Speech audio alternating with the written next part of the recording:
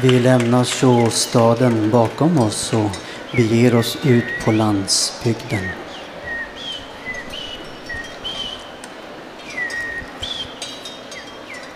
Den lummiga slätten stod i sin praktfulla sommarskrud vackert smyckad med rödvita stugor som lyste likt stolta flugsvampar i sommargrönskan. Mitt på slätten sträckte sig sockenkyrkans tornspira högt ovan träkronorna och lät sin sång ljuda ut över nejderna. De många begravningsgästerna hade just lämnat kyrkogården och begett sig in till begravningskaffet.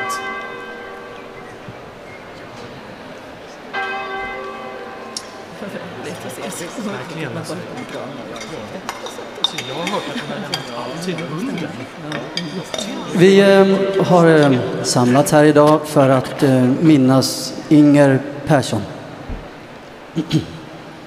Ja, hon eh, var en speciell kvinna. Inger var så omtänksam för många av oss lik en mor, en syster eller kanske en nära vän.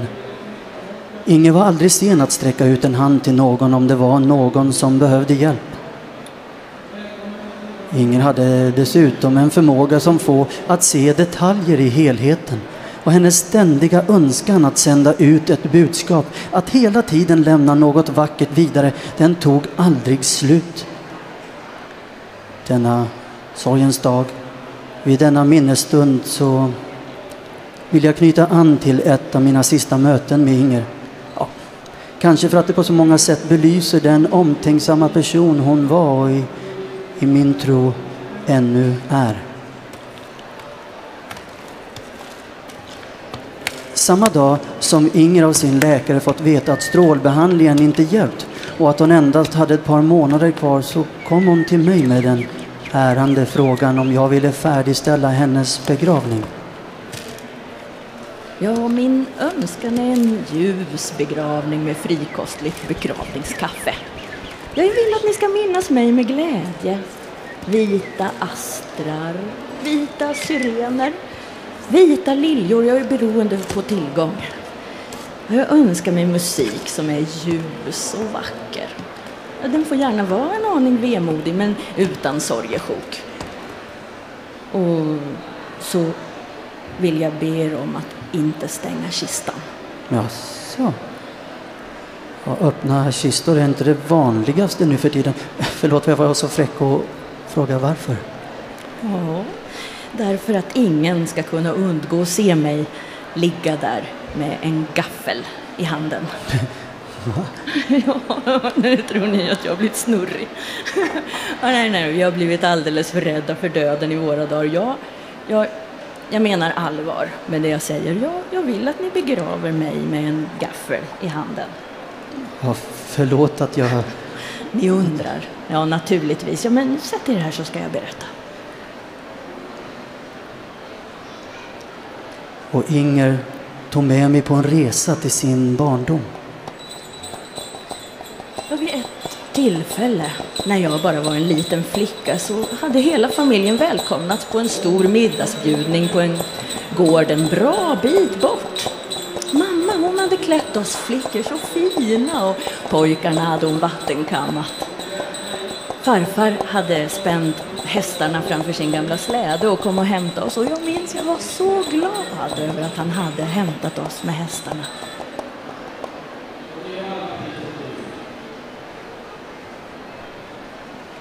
Så.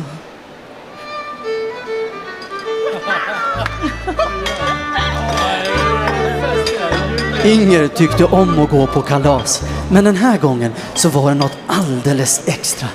Maten var den godaste hon någonsin smakat. Till förrätt så serverades champinjonsoppa. Oh, det och varmrätten.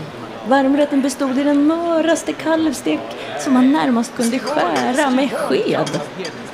Vilken tur, sa mamma. Båda dina favoriträtter på en och samma kväll. Nu kunde det ju bara inte bli bättre. Det insåg Inger själv, trots att hon ännu var en liten flicka. Så eh, efterrätten hade hon inga större förväntningar på. Men när hushållerskan dukade av efter varmrätten så böjde hon sig fram mot Inger och viskade. Du kan behålla gaffeln. Jag vet inte varför hon sa det egentligen. Förmodligen var det så att hushållet inte hade tillräckligt med gafflar och så skulle de räcka till ytterligare en rätt åt oss barn. Men för mig så kom det att bli som en symbol.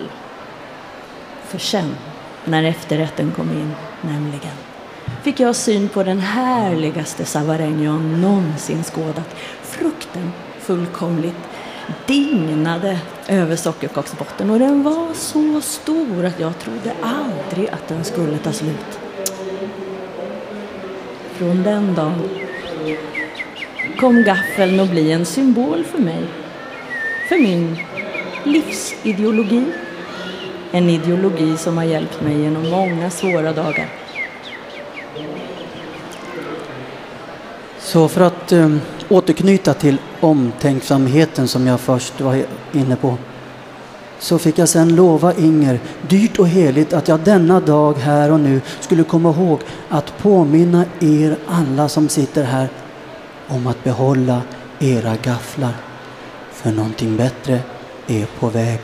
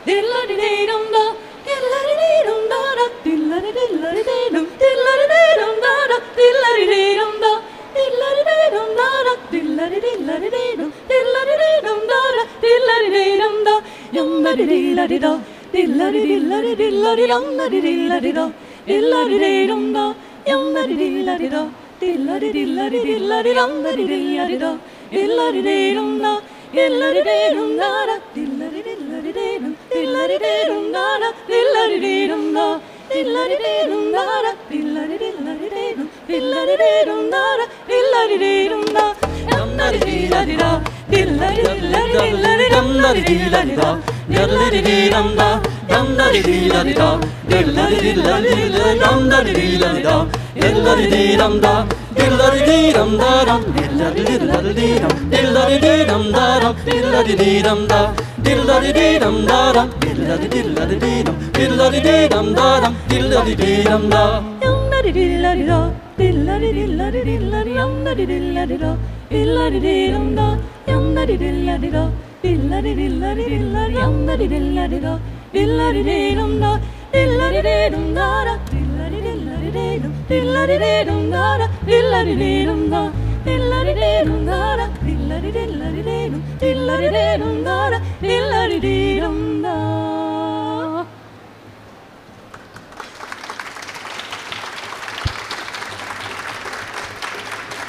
Du har lyssnat till Fenix. Fenix. Programmet som serverar brännande heta berättelser ur verkliga livet. Fenix. Programmet som presenterar lyssnarnas berättelser rakt ut i eten.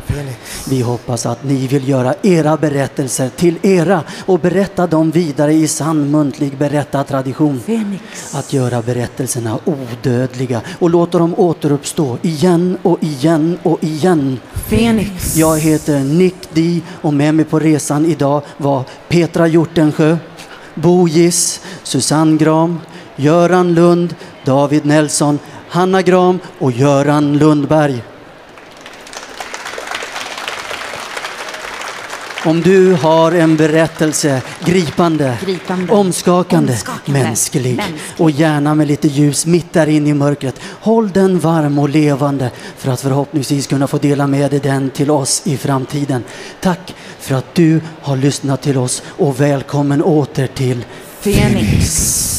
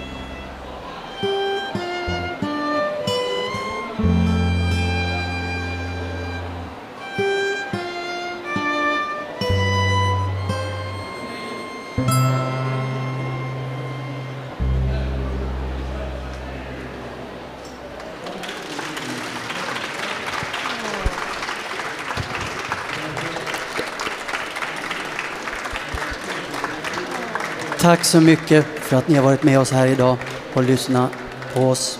Och jag hoppas på snart återhörande.